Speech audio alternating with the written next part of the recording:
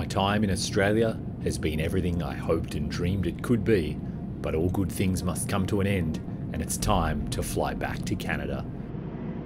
My first flight is 13 and a half hours before I learn that Vancouver Airport has shut down for snowpocalypse. After some number of hours in the air, I find my way to the Calgary International Airport, not even knowing what day of the week it is.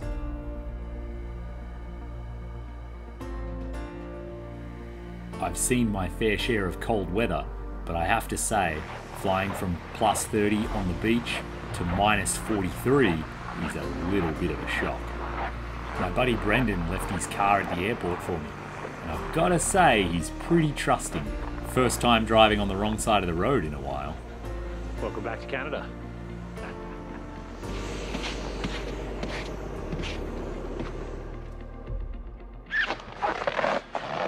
Good morning, everyone. It is the next day. I slept like a rock last night, and I've just come outside to say hello to an old friend. You'll be happy to know it's warmed up immensely because the sun is out. Now it's only minus 29. and you can hear how loud the snow is because of how cold it is.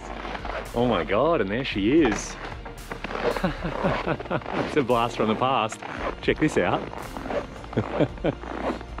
So uh, it's actually been in a garage for the whole time for a year and a half. But my friend Brendan, he did me a super solid because he knew it was going to be so cold. He got it out of the garage a few nights ago. So he swapped on. These are brand new winter tires. I've never even seen these before. These are Yokohama Geo 75s. So these are really high uh, super grip winter tires. You can see, look how many those squiggly lines on there. We call those sipes. They, uh, they determine how grippy they are basically in the snow. They're not studded, but they're basically as high end as you can go before you go studded. And because they're only two 6.5 75 17s, they're about 15 millimeters lower than the XATs that were on it, the summer tires. So that lowered the back. Brendan said they had a couple of guys jump on the back bumper and they drove it out of the garage. So, wow, this is, uh, this is strange to see. I just haven't seen it in so long. It's only been outside for a couple of days, but obviously it's been snowing a bit. Can't really see much because it's covered in a bit of snow. But I do have a mission today, more than just coming out here to reminisce. The door's unlocked, so the battery can't be too dead. We have a sneaking suspicion that the battery is flat. And it's kind of hard to say because there is that kill switch that I installed, which Brendan isn't super familiar with. And so he had a bit of a hard time starting it. But it's hard to say if that's because of the kill switch or because the battery is dead. this is like putting on an old cozy sweater or a nice comfy pair of socks.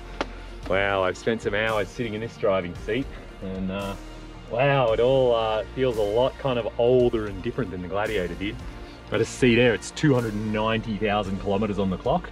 I couldn't really remember and still got some good dust on it. Some of that might be from Africa just about. And uh, oh yeah, Brendan managed to get two of the summer tires in the back. You can see one, two, that fills up the back pretty well. And wow, I can hardly even remember all the stuff I left in here. Here's a ratchet strap that we'd use to compress the suspension to get it in. The air hose, because we had to air down and up the tires. But uh, wow, I'd kind of forgotten how worn some of it is. I guess, I mean, it's not a brand new vehicle like the Gladiator was. So it's got a few miles on her. But the purpose of today's little expedition, I'm not actually going to drive anywhere. I don't think I need to. I really just want to see if it'll start. And because it is minus 30 and it's not plugged in, starting it is not brilliant for it. But I kind of need to know if the battery is dead or not.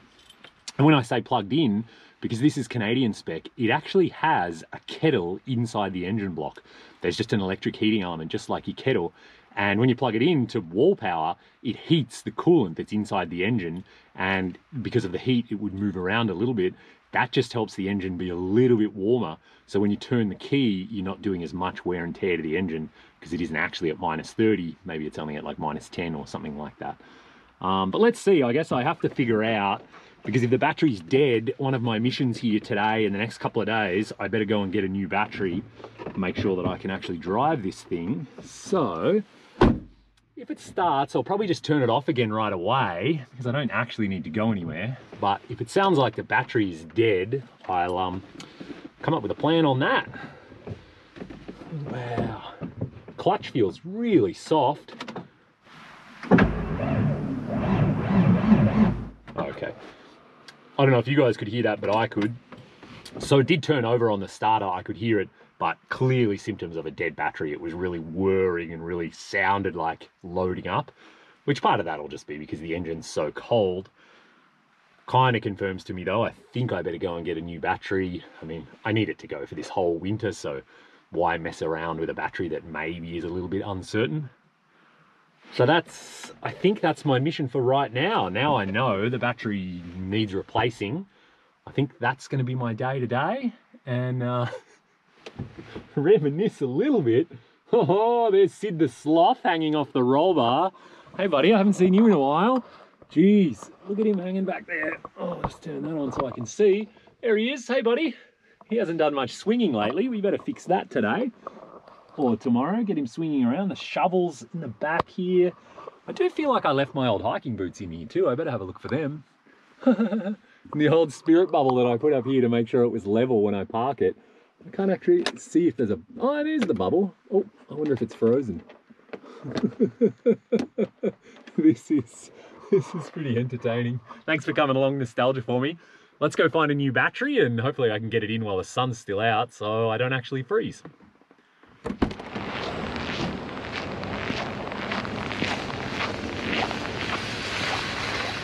So there we go, we have a new battery on board. I'm in Brendan's car and uh, I got an Optima yellow top because of the dual battery holder in the Jeep. Only an Optima yellow top will fit. So that is a $395 battery, thank you. And I'm sure the house battery is dead as well, so I probably need two of them, but I'll deal with that another day. I'll change that out when it's not minus 29 outside. I'll show you what the driving looks like a bit around town. And uh, it's pretty funny then in Canadian Tire. Maybe I don't sound like I'm from here, I don't know. The guy started trying to lecture me about cold weather, you have to plug your car in and all that kind of stuff. I was like, I, I know man, I live in the Yukon, but he still didn't believe me. I guess my accent's a lot stronger now. Everyone in the shop sounded very Canadian. And of course, every single person in there is buying a battery because of the cold weather, everyone's batteries died. So onwards and onwards.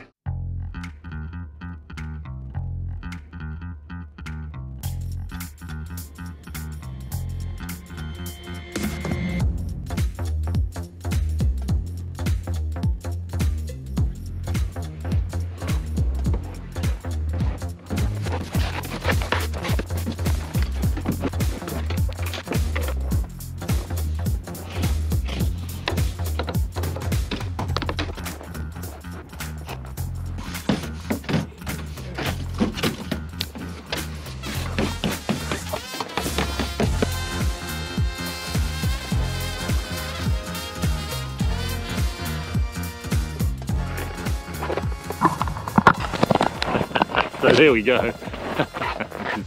this, is, just so strange to see. It's all weird memories and feels like deja vu.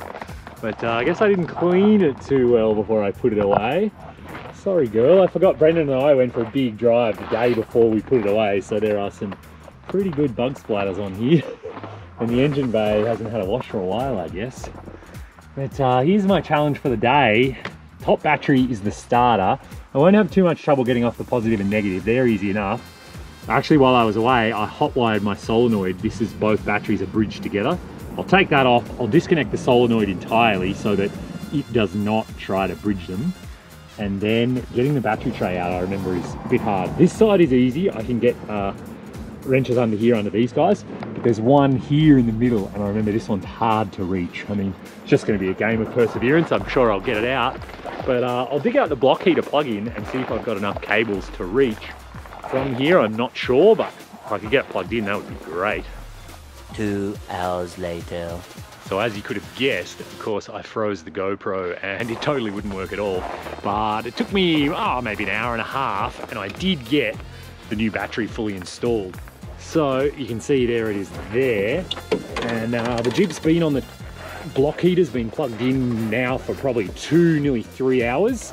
So certainly the coolant inside the engine well, it shouldn't be at minus 30 anyway, which is good. and I've also got the battery right now plugged into um, a battery charger. So I just thought it'd be a good idea to try and get that new battery as strong as it can possibly be.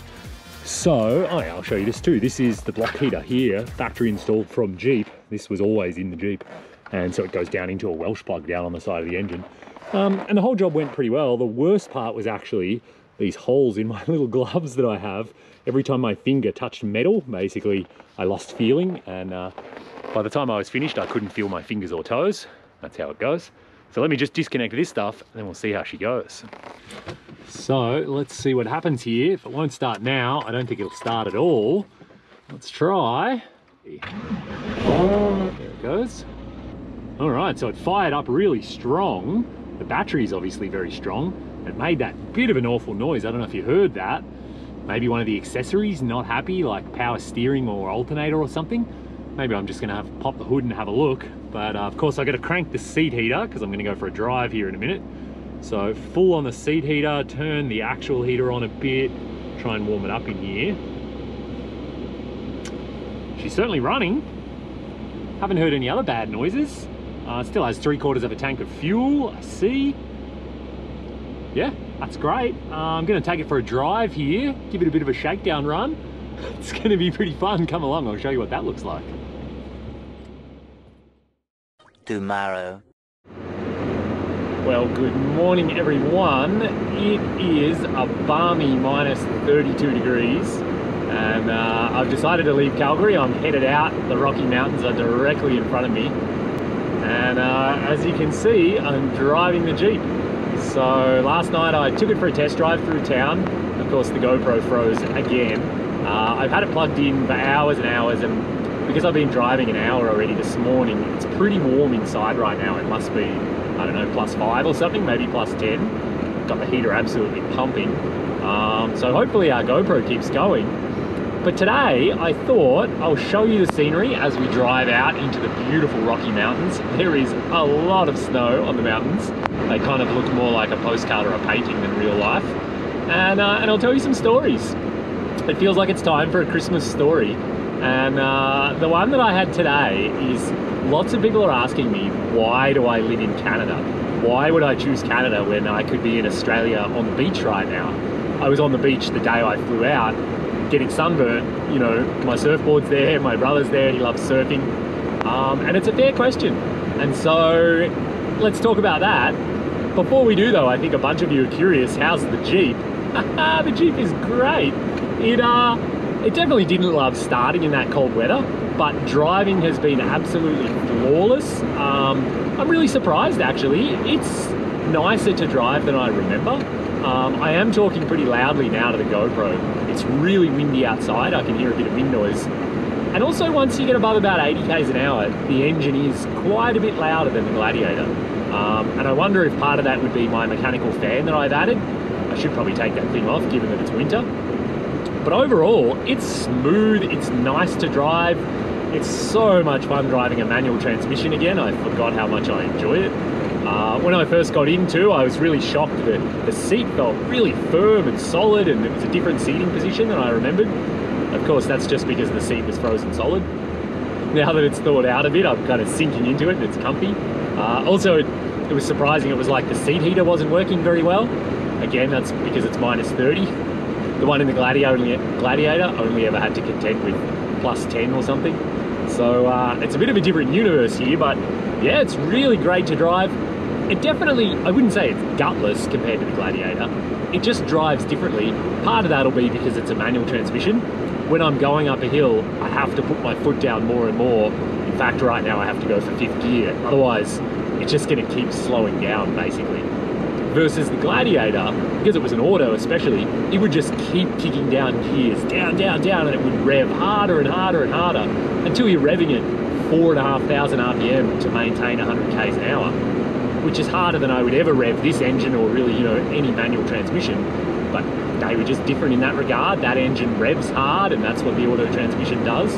Versus now I'm in charge, I'll probably just go a little bit slower, but rev the engine a lot less.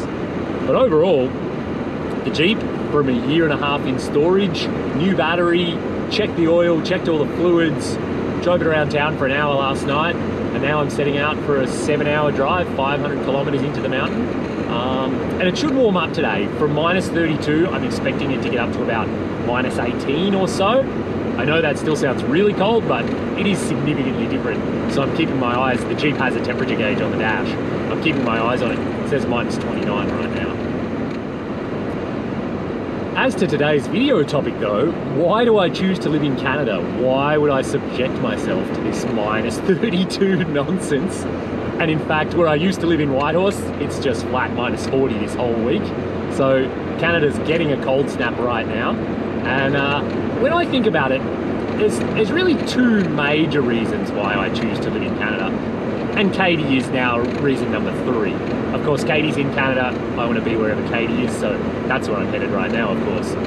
But the two main reasons that have really, really been the core of why I choose to live here for the last 15 years or so, and, and you know, I could choose to live in Australia, New Zealand, I choose to live in Canada.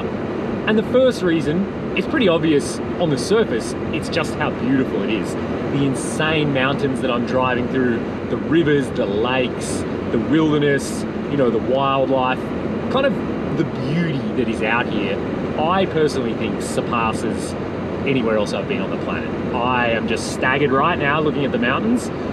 I it doesn't even look real. More than that though, I think I think it's easy and obvious to say that Canada's beautiful what I never appreciated before, because when I grew up in Australia, you live in a place where the weather is very stable and very consistent. Lots of people, lots of parts of Australia really only have two seasons. As a joke, people say hot and then hotter. They're the two seasons. And so what that means is wherever you live, whether you're on the beach or whether you're kind of inland or even if you're in the mountains a little bit, you basically live in the same place for the whole year. You, the seasons don't change. And if you want a different season, you have to go somewhere, maybe you even have to fly overseas. Versus in Canada, when you live, like even where I am right now, it's minus 32 today. Six months from now, it could easily be plus 32, could even be plus 40. And then you actually still live in exactly the same place. You didn't go anywhere, but now you can go mountain biking, now you can go out hiking, you can go swimming in the lakes and rivers. We float down one of the rivers up here in inner tubes every summer because it's hot enough. There's swing ropes, we swing out of the trees, all of that kind of stuff. Then, just wait another six months. Oh, there's a Jeep, I got a wave. I got a Jeep wave back. Another six months later, and here it is snowing again. Now we can go snowboarding, snowshoeing, ice fishing, all of like the winter activities. And so really, it's like living in two places for the price of one. Without ever having to buy a plane ticket, without ever having to really drive anywhere, you get both of those amazing, massive seasons. A full summer where you will get sunburnt and the sun is up for 18 to 20 hours a day, and then a full winter where you've got some of the world's best snowboarding, mountains to explore, backcountry, all of that, and you never went anywhere. To me, having, well, actually the four seasons, I really like fall as well, or autumn, and spring's always interesting. It's kind of a weird transition, but some of my favorite days of the year are like the changeovers. So it's a real thing in Canada. You, you get all excited. You, you put your snowboard and all your winter gear away, but on that same day, you get out your mountain bike and you get out all your hiking gear. And so it's fun to, although you're saying goodbye to snowboarding for six months, you're saying hello to all your summer activities. And then it never takes very long, and the same thing happens in the opposite direction. Clean up your mountain bike, oil everything, grease it, put it away in storage, and while you're there, grab out all your winter gear and your snowboard. So that's that's kind of reason number one, or that is what I think of, and, it's the obvious one, the seasons and the beautiful scenery. Reason number two, I think maybe is a little bit less obvious, and it took me it took me a lot of years of living here to really kind of understand it or really appreciate it. And to describe this, I'm going to generalize a lot. I'm going to generalize about Australians and Australian culture, and I'm going to generalize about Canadians and Canadian culture. And, you know, maybe generalizing isn't actually the greatest thing in the world to do, but I think it's kind of useful because generally it's true. That's why it's called a generalization. So, the main reason, I think, the number one that I choose to live in Canada is because the seasons influence the culture, they influence people's attitudes, and for me, the Canadian seasons, they influence Canadians in a way that I really love, that I really appreciate. Canadians to me are amazing. I mean, not only are they extremely kind, polite, friendly, which is fantastic, that's great, but more than that, the bit that, that really I love is Canadians are go-getters. Canadians absolutely go out and they do stuff, and they do stuff with passion, and they're not the kind of people who are just going to sit around and wait, or sit around and say, ah, you know, maybe not this weekend. And it took me a lot of years to really put my finger on it, and I do think it's because of the seasons. And, and being back in Australia for that year and a half, I met a whole bunch of Australians, obviously. I went all the way around the country.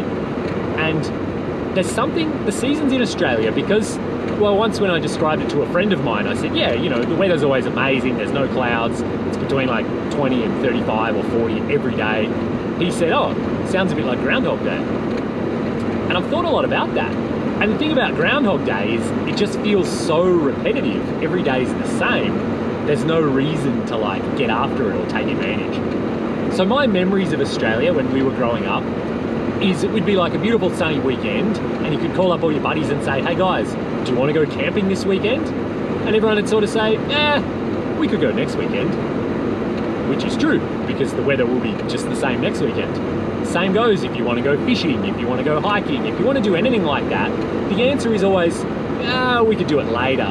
Ah, let's not bother, let's just have a relaxing weekend. Let's sit by the river, let's sit by the lake. Which of course also makes sense because often it's stinking hot. Who wants to go hiking or mountain biking when it's 40 or 45 degrees Celsius? So I think the seasons in Australia lend themselves to like, let's find a shady tree let's have a big cooler full of beer, let's have a really comfortable chair, and that will be our weekend. And don't get me wrong, I enjoy a cold beer as well, but there's kind of not much else to the weekend. I think, generally speaking, that's true in Australia. Of course, it doesn't apply to everyone, it doesn't apply to everywhere, but I think on the whole, that is the culture. Let's relax, let's slow down, let's sit in the shade, take it easy, all of those kinds of things. And people say Australians are really easygoing. Again, I think easygoing is a bit of a synonym for like relaxed, a synonym maybe for lazy. Maybe Australians have a bit of lazy creeping in. I know I, it's part of who I am inside. I feel that draw to like sit on the couch and do nothing for a day.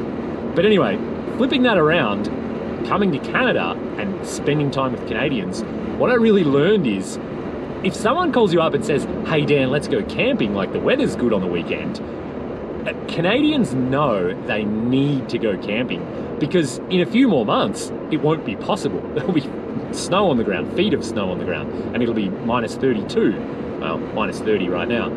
So that means Canadians are more motivated to like get after it, like to go for it, to get out and do stuff.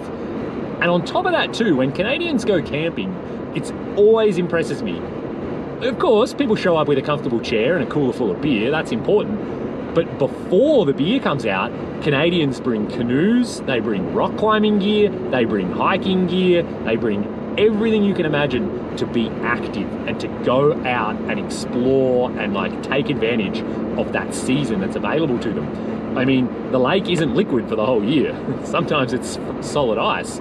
So that means while it's liquid, let's take advantage. Let's go canoeing down to the far end of the lake. You know, there's a cool sandbar down there. We can camp. During the days, we can hike way up into the alpine and find some little alpine lake and maybe jump in there, even though it's freezing cold. All of those things Canadians are really excited to go and do. I think because in the back of their mind, they know pretty soon they're not going to be able to do it. So they kind of have to right now. So it leads to this culture of like, let's go, let's do it, come on. No waiting, no slowing down, no sitting around being lazy. And of course, the exact same true is, is true in winter as well. As soon as there's all this snow on the ground, you start getting phone calls from all these people. Hey Dan, let's go snowboarding. Hey Dan, let's go ice fishing. Let's go snowshoeing. Let's go backcountry skiing. We found a lodge way back in the mountains. We're all gonna ski in there. It'll take us like five hours, drag a toboggan full of gear. Better concentrate here. And uh, let's stay in this backcountry lodge, you know, bring all your camping gear and we sleep inside, but you bring a sleeping bag and all that stuff. And so again, because they know the winter is not gonna last, I mean, the snow's on the ground for, let's say, five or six months, you have to be active and you have to go for it. Take advantage of this epic snow. Go and get some of the best snowboarding on the planet because it's going to end, because it'll be gone and then you won't be able to anymore. And so it's amazing that it actually applies in summer and in winter. It gives Canadians this push to like go for it, to let's go, let's go get it, let's go do it. None of this like, oh yeah, you know, we could do it next weekend. So that's a really long-winded way of saying I live in Canada. I choose to live in Canada because I really love the Canadian way of life. I love how Canadians are go-getters. I love that they prioritize getting after it. And I think for me and for what I want to do in my life and the kind of people that I want to surround myself with, it just makes me happy. And it just makes me smile and it makes me excited to get up in the morning. Whether it's minus 30 and everything's covered in snow, or whether it's plus 30 and we're going to go jump in a cold lake, both ways, I wake up with a smile on my face and I say, oh my God, I can't believe where I am. I can't believe we're going to do this crazy adventure. Like, I'm excited, a little bit scared, but I'm excited and I'm like, let's go, this is amazing. That's Canada for me. That's why I'm here. That's why I'm going to live in Canada for the rest of my life. I love it. I have a lot of adventures around the world that I absolutely want to go and explore and look at, and learn about, but I think there's a very good chance I will always come back to Canada. So far, it is the best country in the world that I've ever found to live in full time for the rest of my life. Canada's it. So that's it. I hope you're enjoying the scenery. I hope you're enjoying this drive. I'll, uh, I'll keep showing you some beautiful things. There's a big truck and lots of blowing snow in front of me. And uh, thanks for watching. Thanks for coming along on this ride. It's taken me, I don't even know what I'm up to now, 72 hours, 80 hours from dad's place to eventually I'm gonna get to uh, Katie and my house back home in the mountains. So it's been a long journey. Go for four-wheel drive, it looks a bit slick. It's been a long journey, but it's gonna absolutely be worth it, I'm quite sure. And of course, it's Christmas time too. So I wanna say to everyone, Merry Christmas. I hope you have a really good family Christmas. Uh, it's been a tough couple of years with COVID and being away from family and friends. So I hope everyone can find a way to surround themselves with their loved ones. And uh, Happy New Year as well. It's always coming faster than you think. And on that note, I'm going to take a little bit of a break from YouTube. I, uh, I'm really happy with the Australia series. There is, of course, one more video coming from Australia, the most epic of them all. I have to edit the footage, I'm working on it, it's taking a long time. I'm going to take a few weeks off though. I need to regroup, I need to spend some time, decompress, and I'm working absolutely on the next vehicle and the next adventure.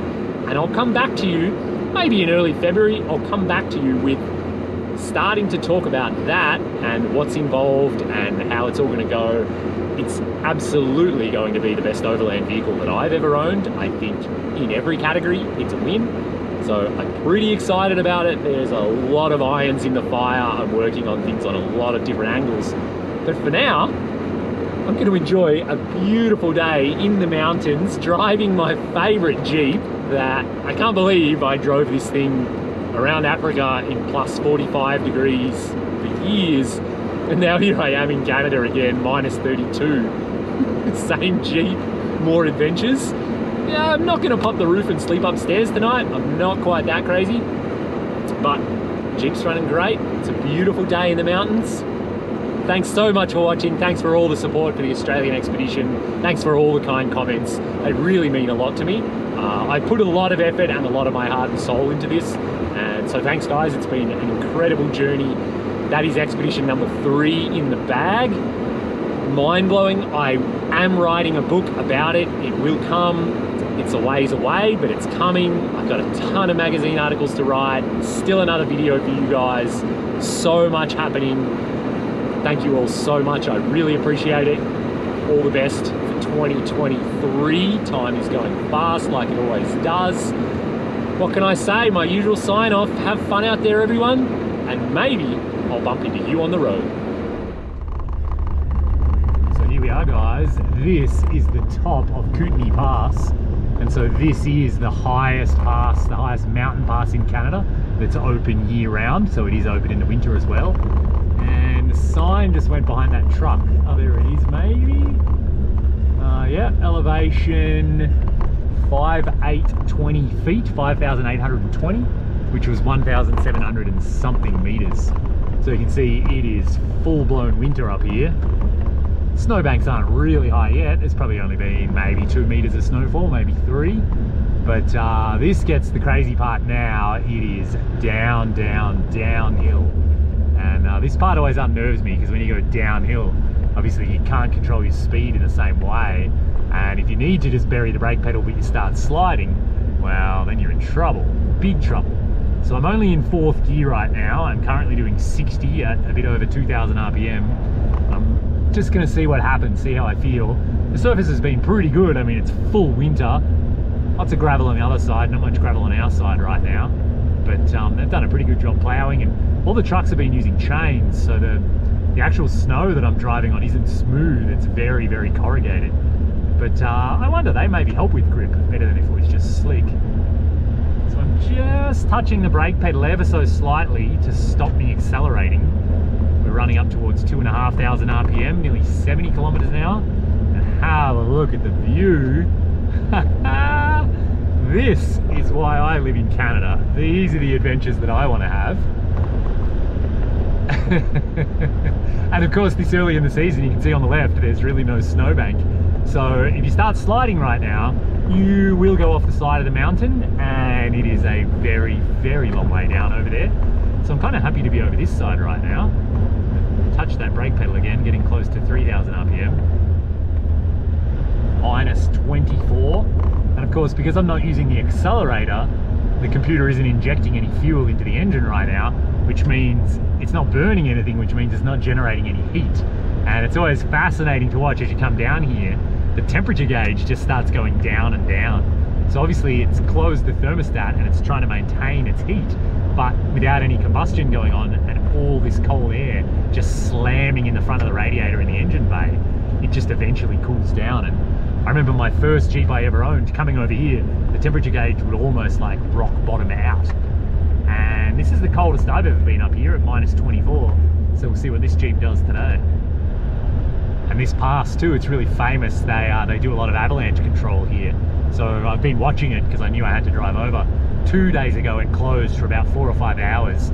They basically shoot cannons at the mountains and that causes them all to avalanche which cover the road and then they spend the next however long ploughing and pushing all that snow off the road and then they reopen it again and they basically do that after every significant snowfall for the entire winter. So usually it's closed for a couple of hours every like three or four or five days, basically just depending on how much it snows. But yeah, they really have to fire rockets at the mountain to make it avalanche.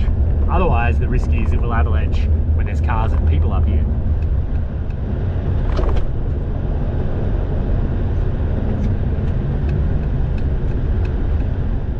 See everyone's riding their brake on the way down, trying to not let the speed get away from us.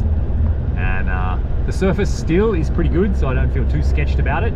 But it never does feel nice to have to put your foot on the brake when you're coming down a hill like this. If I start sliding, I do not have many options. Best case is take your foot off the brake, stop sliding, and then maybe try again, or maybe steer to a different part of the road and then try again. But of course, with oncoming traffic, that's a thing. And obviously if you had a choice, you're gonna go to the right and go into the ditch, better than going to the left in either oncoming traffic or off the cliff. But it's one of those not very good uh, choices. You don't really want to do either. So slow and steady definitely is the way to go. On the way up, people were basically treating it like a racetrack. I was kind of surprised. I haven't seen that before. But on the way down here, you can see everyone's being pretty sensible and conservative there's no one overtaking and just going like as fast as your car will roll. In the summer you can do that and you can be doing 140 down here pretty handily. So there we have it. That has been the mighty Kootenay Pass, the mighty drive. Uh, I've been driving for eight and a half hours today and uh, I don't even know what it's been since I left Australia. Four days? Four and a half. I I've completely lost count. I've had about two days of sleep in that time. So I'm about ready to arrive.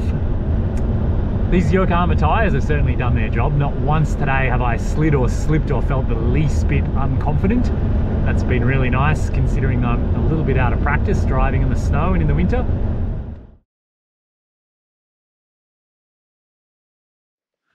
So there we go. That is just under nine hours of driving and uh, it is very much winter here. I was just in four wheel drive, sliding a little bit, going uphill.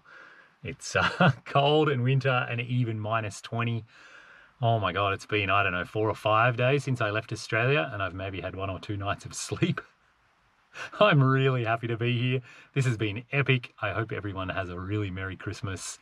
I'm going to go and see Katie.